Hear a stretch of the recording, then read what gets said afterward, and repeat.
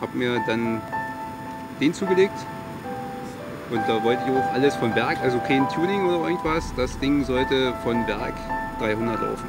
Ja, das Fahrgefühl, das ist, also man braucht auf jeden Fall Eier in der Hose.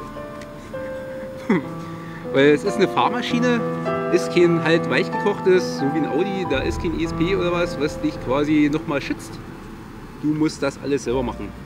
Man muss mal einsteigen und wenigstens mal Beifahrer sein. Ansonsten, das ist, weiß ich nicht, das kann man, das kann man nicht erklären.